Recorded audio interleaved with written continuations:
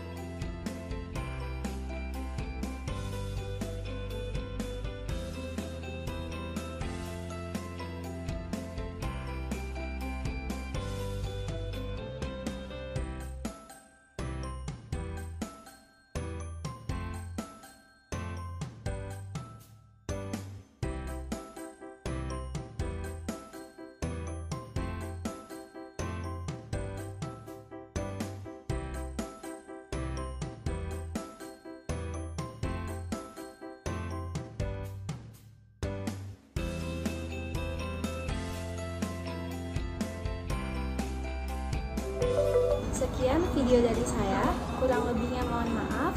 Bila hifisabilha, fasabiqul khairat. Wassalamualaikum warahmatullahi wabarakatuh.